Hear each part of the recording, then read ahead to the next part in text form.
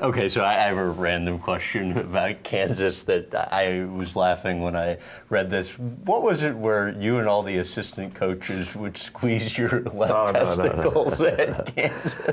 When I was when I was a when I was a young player at North Carolina, um, I was sitting on the bench and we were in a crucial situation, and um, all the players said, you know, coach wants us to squeeze the, squeeze our left one for the power. so um, it worked. You know, we had a defensive stop, and we won the game, and I did it at UCLA the first time, and uh, it was a long possession, and a few of my kids were turning blue. so, but it, you know, I haven't used it in a while, but Probably a there is thing. something to say about the power. Whatever team I'm in, whatever city I'm in, I become their fan. So, Okay.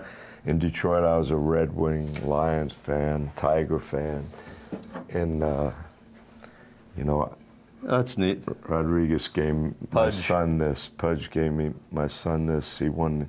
He wrote. You know, he was a World Series MVP and an American League MVP. That's the Pistons championship um, picture, and LJ's down there, and I got Madison, and I love that team. Do, do they remember that? Oh yeah, but I just loved that team. That was that was a great team, a great group of guys. Uh, they gave us we had a 25th reunion, so they gave us a national championship ball from Kansas.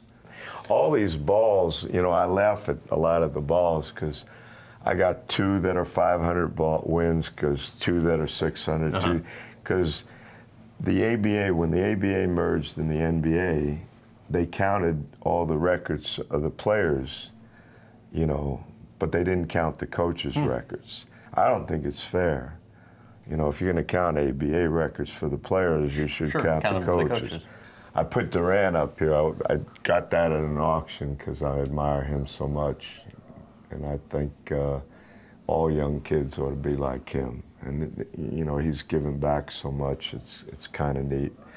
This is from the Olympics in Tokyo. Um, I climbed up on a flagpole on Mel Counts' shoulders after we won um, the the finals against Russia. So I I tore that down. I don't think I Oh, really? I don't think I was supposed to do that.